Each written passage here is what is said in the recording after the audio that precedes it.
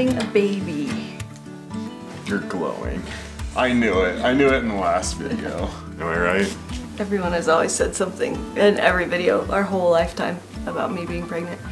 So you're finally right. Whoever said it. We've been together for 12 years now, and we've wanted a baby for probably 10 of those years, but it just was never the right time. And we decided that it is the right time. So we tried it thinking it would take a while and it happened immediately. So here we are. Yay. We were ready though, if Yeah. like we were Yeah. hoping it would happen immediately. Right, but saying that in our unfinished house is a little bit comical. Um, and we understand the humor and all of that. So, but yes, we are very excited. I'm four weeks pregnant today. I'm still four weeks pregnant and change. That's so crazy. I feel bad, but I'm so happy. I'm six weeks pregnant today. I think the reality of it has set in for the most part. But now there's some moments of apprehension coming in, like, oh wow, the reality. I'm growing a human in me, and there's gonna be a lot of things that are gonna change. Six weeks and two days. I think I feel the worst that I've felt yet. Six weeks and four days. I'm on the verge of experiencing quite a lot of guilt. I understand what my body's doing and what my body needs, but we're in the middle of building a house, and I can't hardly get out of bed. I had been laying in bed for an entire week, but I really wanted to still be part of building the house. Barron's entire family was here helping. I helped doing what I would normally do, not pregnant, and moving around a bunch, and that ended up being maybe a little bit too much. Two days ago, after working on insulation on the house, I laid down for a little while and then went outside to pee. And there was a lot of blood on my toilet paper. This was at six weeks, six days. I Told Barron, went over to Brad and Lindy's house to take a shower and just talk. And I never stopped bleeding. It was like, it was not ever getting in my underwear, but it was bleeding as though I were on my period. I contacted Barron's cousin, who is a nurse and has a baby herself, and she said that if I'm not cramping, bleeding can be common, but bleeding can also be a problem. I was surrendering to the fact that it was probably going to be a problem, given that, um, I don't know, you don't ever want to see bleeding when you're pregnant. So we had a pretty sad evening knowing that this is something that we really want and also being grateful that it happened so quickly, uh, knowing that we can try again. I never got any cramping, and it's two days later. I'm spotting just a little bit. Lindy said maybe this is how I carry babies. And I'm like, hey, you chill out. Seven weeks, one day today.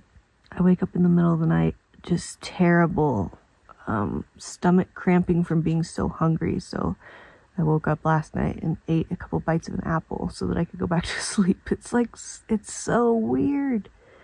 It's unbelievable. Quite a mental and physical roller coaster. But you know what?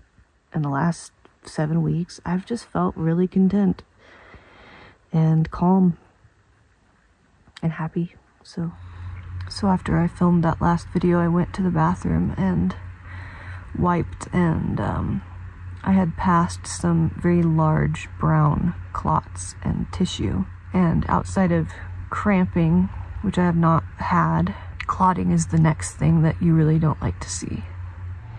My midwife, who I have not even met yet because we're still so early in this process seven weeks and three days. She replied to my emails telling her about bleeding and spotting and she thinks it's likely a miscarriage.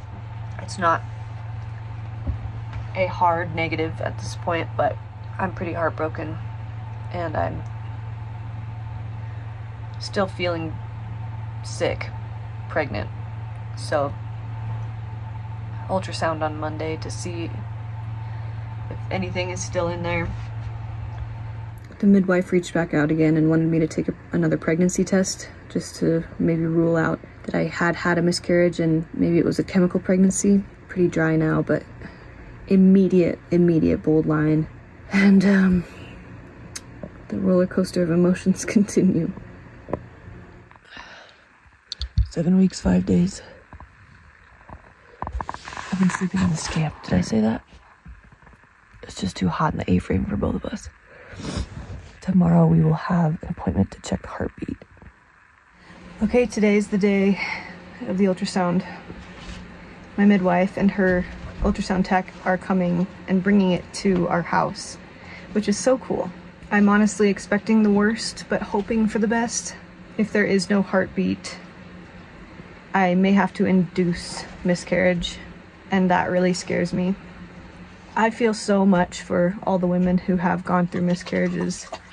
Something that's I've learned so hard to talk about because there's so many emotions of guilt and shame that come with it. Not to mention the very traumatic physical experience of a miscarriage. I just have so much respect for all the women who have gone through this and and all the women who will continue to go through it because miscarriage is so so common. And I didn't know that because it's not something that is very readily spoken about. We're really, really, really hoping to hear the heartbeat today. And that's actually what feeds the baby at first. So, so what you want to do, Alicia, is just kind of rotate mm-hmm. until you get the full, The length of the spine, right? the full length. Here's the little munchkin with the head up here. You see the heart right there, just beating, beating, right? Very strong. It's like a little light flickering. Very good. And that looks completely normal. And that is exactly February the 20th. Is the Wow. due date it's Seven weeks and six days. Perfect. That's The baby spot on. matches. Yeah.